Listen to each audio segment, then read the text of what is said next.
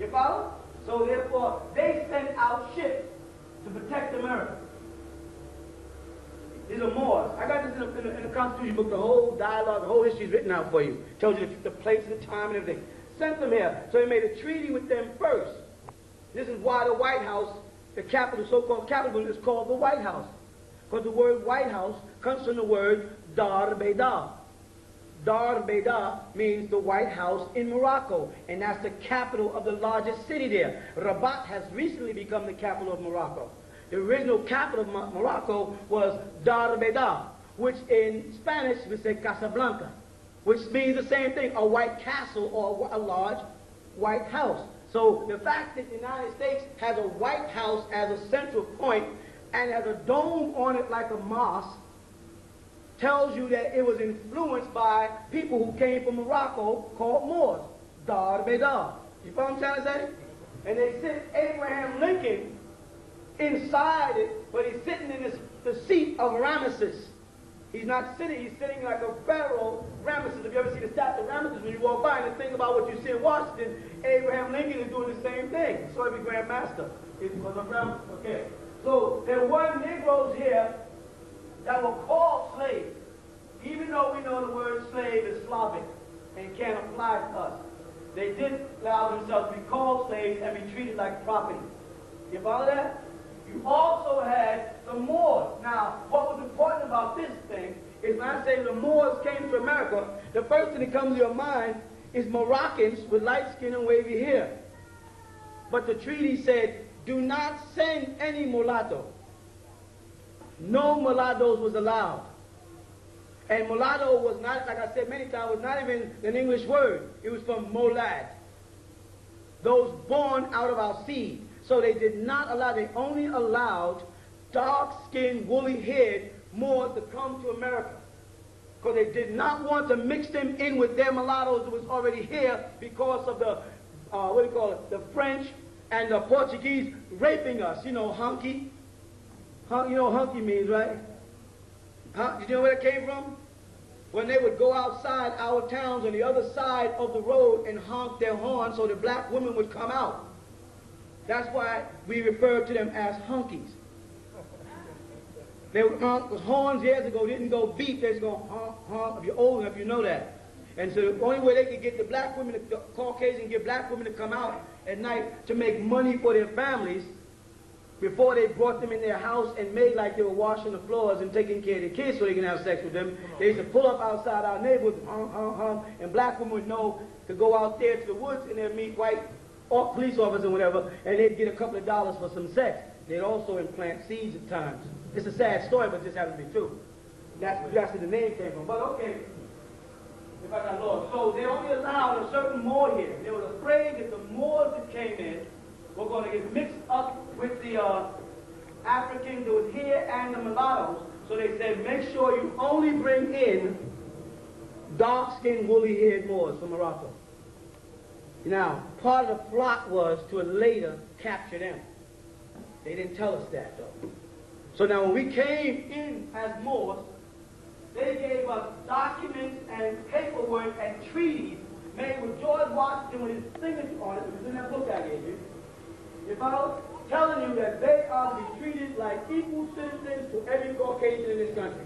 Now, these were black men and black women with, with these kind of feathers on walking around during the same time they were having slave blocks and selling people. There were black people there buying for slaves who were Moors. That's real. That was us. You follow? That was our culture. We forgot it because we think Africa is our only home. But we were already here. And then we had some that came over here. Again, we were not Muslims. We didn't care. They associate the word Moor with the word Muslim. Muslim is, is, a, is a curse to a real Moor. Because we knew that the Berbers invaded us with their Arab, Arab, Arabicized ways and poisoned us into believing in their image and therefore pushed more out of existence and all the cultural contributions we did got lost. You follow? But to go back. Once they got over here, remember you had your slaves, and then you had your Moors, And then you had your indigenous people who were already here. The indigenous people were mixed in with Hushen, right? And they produce what you call Native Americans. When you hear about a Native American and you see a person with a round face and two long straight braids, that's not a Native American, that's an Indian. You understand? That's an American Indian. But that's not a Native American. Native American were Olmecs like that face, that statue made out there, when you come in with that big round head and that big lips and that big nose. I wouldn't even be classified an Olmec. They're purer than me. You mean to be honest, but that's who they were. They were the indigenous people of this land. The Chinese came in, mixed in with them, and produced what you're calling Native Americans today or Indians. And the Caucasian gave them all our rights. Right. Now they walk around saying Cherokee, Choctaw, Shinnecock, Cheyenne, and we're walking around saying African, African, African. So what he did to appease the African, he created what's called the Emancipation Proclamation. Sounds big. Well, the whole thing is he put forth a proclamation that he's going to emancipate us and free us from slavery. But he did not promise us anything. Now, there was a promissory note saying 40 acres and a mule. But we multiplied so fast that they was afraid that if they offered every person who stepped forward for that 40 acres and a mule, there wouldn't be enough acreage left on this planet. We would take over. So they had to drop that and the mule and just start slapping us upside the head whenever we started asking for our rights or creating organizations that would stifle our growth. You follow that? The first thing to do was to create religion.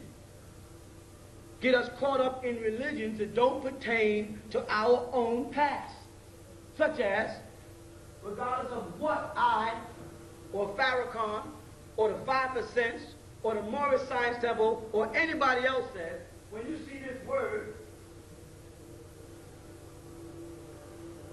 which I'm quite sure you have a hard time figuring out, the number L, Allah. I could write it with a long letter, but I'm doing a shortcut, okay?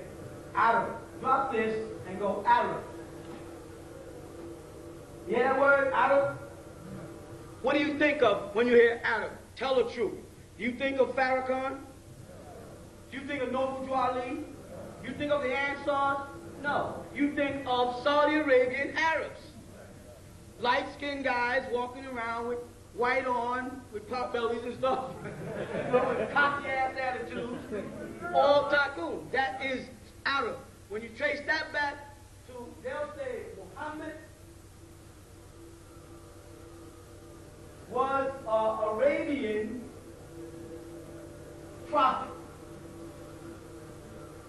No Muslim will deny that. That Muhammad was an Arabian prophet. Right? So there's a subtle confession that Muhammad was an Arab